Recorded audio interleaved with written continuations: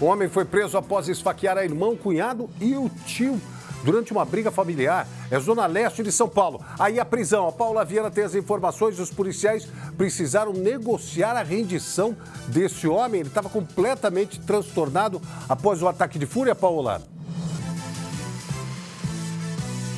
Negociaram sim o Willi, demoraram bastante tempo, porque ele estava completamente fora de si, muito nervoso. Assim que a polícia entrou na casa dele, viu né, que ele estava ali transtornado e percebeu um volume na cintura. Foi aí que a polícia percebeu né, na hora que tinha uma faca na cintura dele. Foi a faca que ele usou para na hora ali da briga para esfaquear tanto o tio dele, que inclusive está em estado grave vai passar por uma cirurgia nas próximas horas, e o tio e a, aliás, a cunhada e, o, e a irmã dele, né, o cunhado e a irmã que na hora eles tentaram separar a briga, também acabaram feridos. O tio então deve receber alta, né? A gente espera que ele receba alta depois dessa cirurgia de alguns dias, né, William? Agora o cunhado está em observação, a irmã também teve alguns ferimentos, mas logo depois foi liberada. Ele confessou para a polícia que acabou brigando ali com o tio depois de um desentendimento por conta do uso de drogas. Ele faria uso de drogas, né? E aí o tio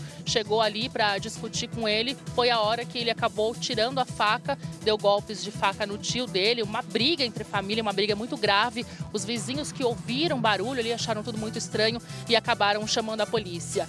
A gente tem uma reportagem que conta mais detalhes, William, dessa história que chama muita atenção. Né?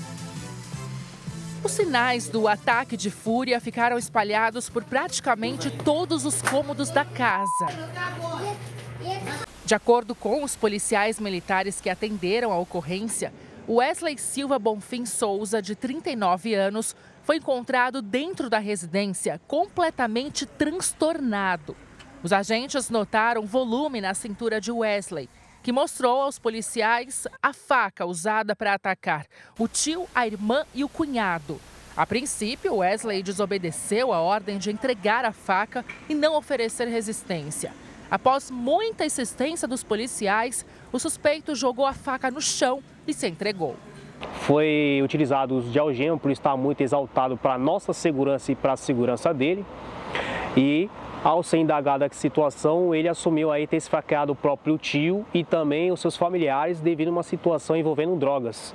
Questionado, Wesley confessou que esfaqueou o tio depois de um desentendimento por conta do uso de drogas. Ele confessou também que golpeou a irmã e o cunhado que tentaram separar a briga. O tio de Wesley, identificado como Hércules da Silva Bonfim, teve ferimentos na região da barriga e foi socorrido por populares. O tio de Wesley deve passar por cirurgia nas próximas horas e o estado de saúde dele é considerado grave. O cunhado, atingido no rosto e no braço, permanece internado em observação. A irmã do agressor foi medicada e liberada. Wesley foi levado pelos agentes até o IML e deve permanecer preso à disposição da Justiça. O caso foi registrado como lesão corporal e tentativa de homicídio na delegacia da Ponte Rasa, zona leste de São Paulo.